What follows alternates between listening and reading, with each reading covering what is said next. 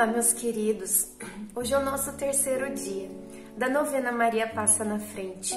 E como é bom ter uma mãe, como é bom ter Maria para chamá-la de nossa mãe, nossa mãezinha do céu, aquela que está cuidando e intercedendo por nós, aquela que está sempre passando à frente de todos os detalhes de nossas vidas, quando nós nos consagramos a ela, quando nós recorremos a ela e colocamos as nossas vidas em Sua poderosa intercessão, em Suas mãos. Muito obrigada a você que está aqui conosco para o nosso terceiro dia desta novena. Iniciemos com fé e devoção. Em nome do Pai, do Filho e do Espírito Santo. Amém. Terceiro dia. Maria passa à frente do meu trabalho. Agradeçamos a Nossa Senhora, pois foi ela quem nos trouxe Jesus. São Pio de Pietrelcina. Logo no início desta novena, eu peço que você coloque as intenções pelas quais você está aqui fazendo esta oração.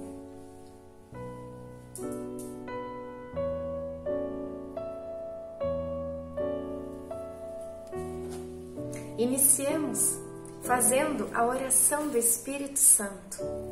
Vinde, Espírito Santo, enchei os corações dos vossos fiéis e acendei neles o fogo do vosso amor. Enviai o vosso Espírito, e tudo será criado, e renovareis a face da terra. Oremos, ó Deus que instruístes os corações dos vossos fiéis com a luz do Espírito Santo. Fazei que apreciemos retamente todas as coisas, segundo o mesmo Espírito, e gozemos sempre da sua consolação. Por Cristo Senhor nosso. Amém. Palavra de Deus, Lucas 2, do 1 ao 14. Naqueles tempos apareceu um decreto de César Augusto, ordenando o recenseamento de toda a terra. Este recenseamento foi feito antes do governo de Quirino da Síria.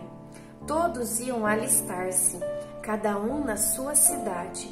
Também José subiu da Galiléia, da cidade de Nazaré, a Judéia, a cidade de Davi, chamada Belém, porque era da casa e família de Davi, para se alistar com a sua esposa Maria, que estava grávida.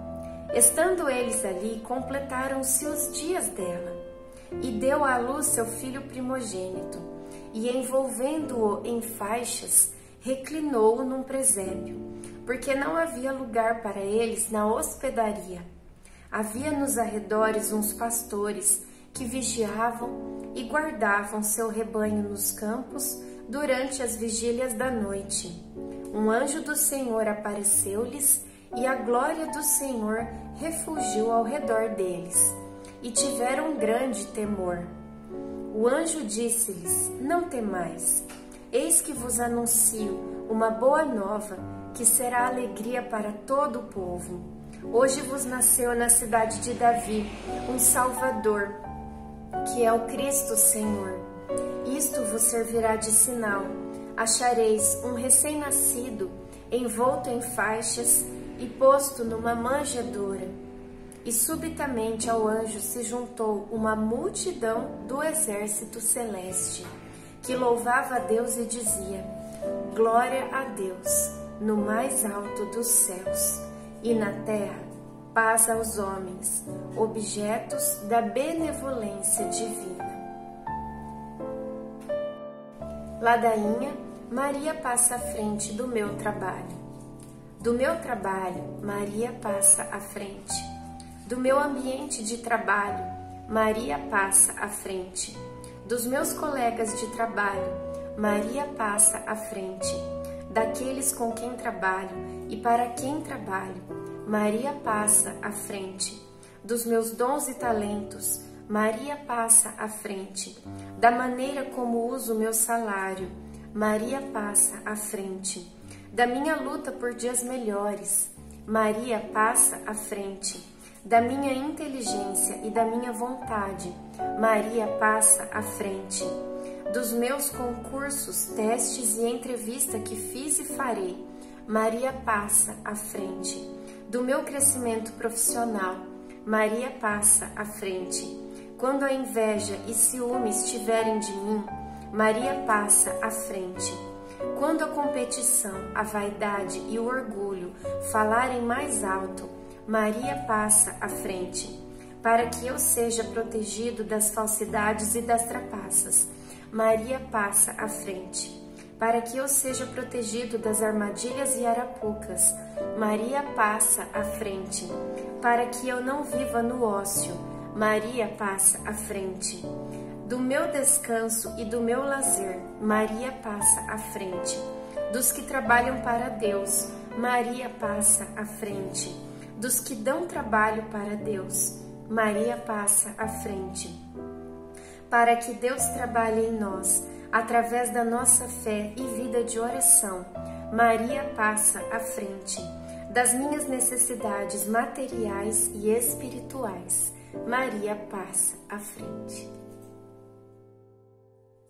Oração Maria passa na frente. Maria passa na frente e vai abrindo estradas e caminhos, abrindo portas e portões, abrindo casas e corações.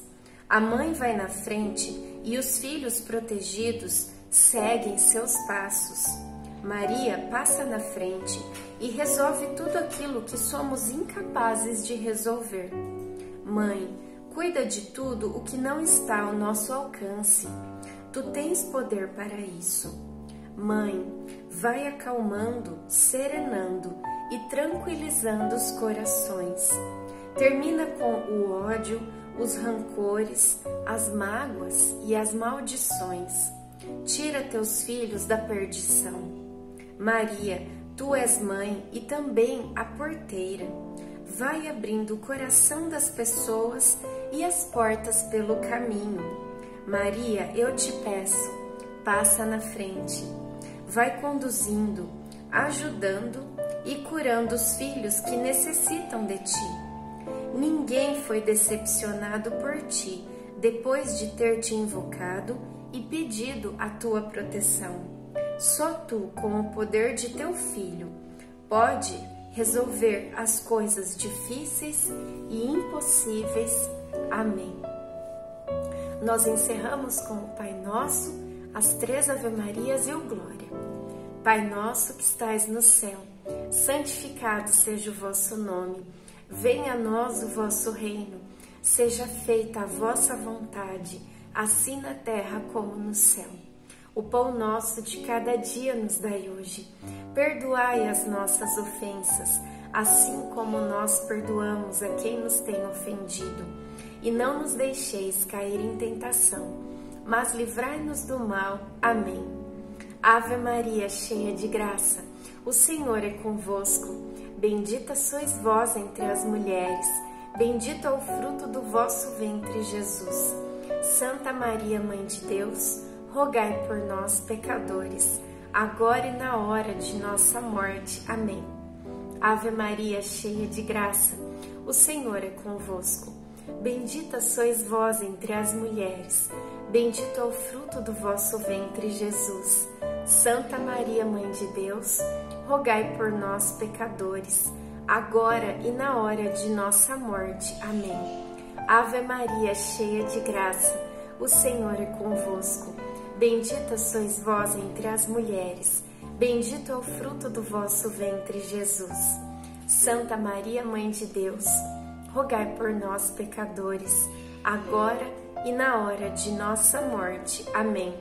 Glória ao Pai, ao Filho e ao Espírito Santo, como era no princípio, agora e sempre. Amém. Nossa Senhora, rogai por nós.